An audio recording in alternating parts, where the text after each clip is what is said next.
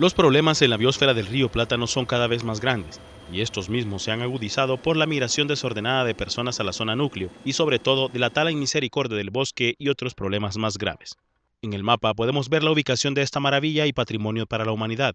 Vemos como en la zona sur la deforestación ha acabado con muchos bosques y arroyos. Esto porque en su mayoría lo que se hace es dejar el terreno limpio para ganadería. Nosotros estamos eh, trabajando con personas que ya han estado y han vivido en la reserva, para eso existen censos también poblacionales.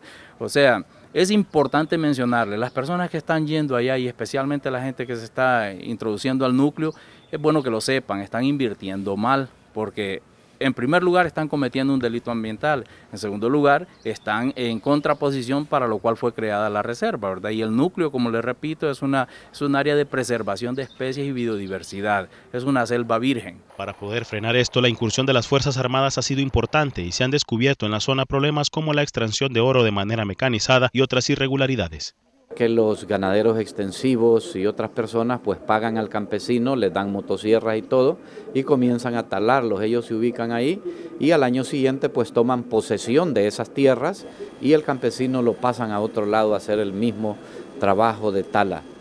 Por el lado sur pues eh, nos está sucediendo algo parecido en la que es la zona de Musín eh, y sus alrededores.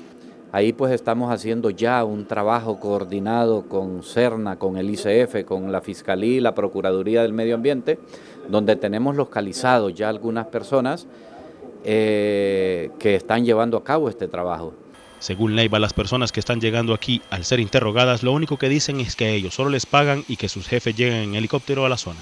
Tenemos gente de Copán, tenemos gente de Colón, tenemos gente del Paraíso, eh, hay una, una, situación bien particular, bien peculiar.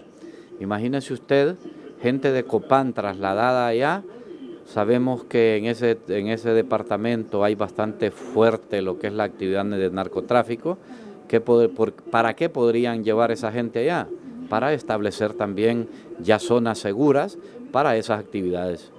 La problemática de la zona de la biosfera del río Plátano es cada vez más grave y lo único que hace falta para resolverla es agilizar la burocracia que se requiere para poder intervenir la zona y cuidar a esta área que es considerada como el segundo pulmón de nuestro planeta.